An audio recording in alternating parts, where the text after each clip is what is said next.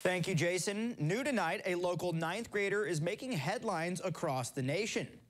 Tessa Morgan won Miss Evansville Teen USA for 2024.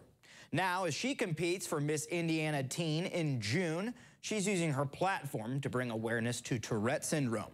She says she believes in finding strengths and building resilience when faced with a disability.